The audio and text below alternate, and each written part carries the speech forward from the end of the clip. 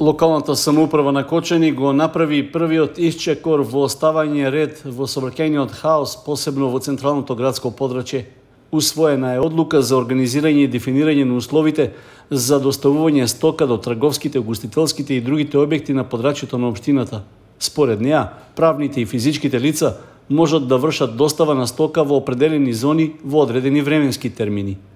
Во зоната на централното градско подрачје, Возилата за доставување можат да испорачуваат стока секој ден во временскиот период од 23 до 9 часот наутро, како и во периодот од 18 до 20 часот.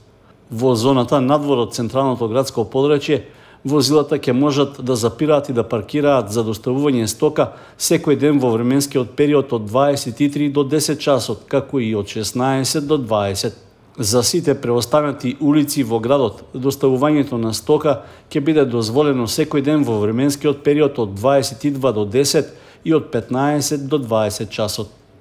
Максималната дозволена вкупна маса на возилата кои можат да вршат достава на стока на подрачјето на општината секој ден во сите зони изнесува 12 тони.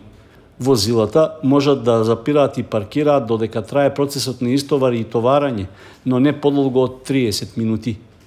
За да можат правните и физичките лица да доставуваат стока, потребно е да обезбедат одобрение од Обштина Кочани.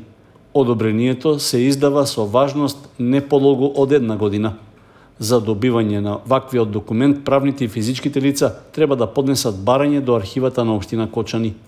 Одлуката за организирање и дефинирање на условите за доставување стока беше усвоена на последната седница на Советот.